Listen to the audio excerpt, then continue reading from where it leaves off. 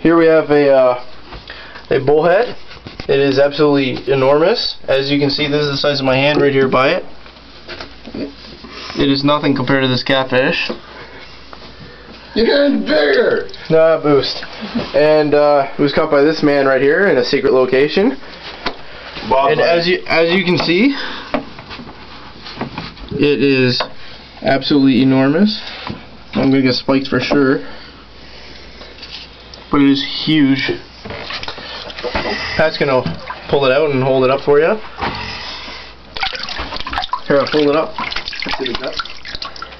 So uh, we're gonna see if that's a possible record, right?